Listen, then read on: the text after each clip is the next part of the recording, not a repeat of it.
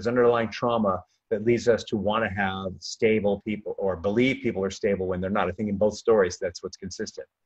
If you think that something's going on that's different than you believe that it is, start with this readiness to change. But keep in mind that you need to be motivated to persevere.